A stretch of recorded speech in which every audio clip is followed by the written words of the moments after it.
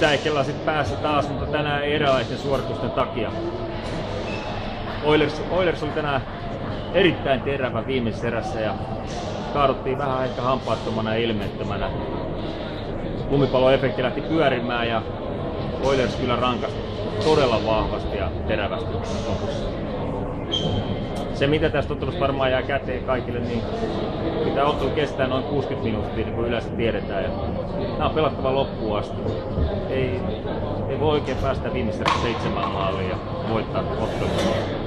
Hei, jatketaan tästä eteenpäin ja SM Karavaani, no en edes tiedä koska seuraavaksi jatkuu, mutta pidetään pieni paussi ja sitten nähdään taas.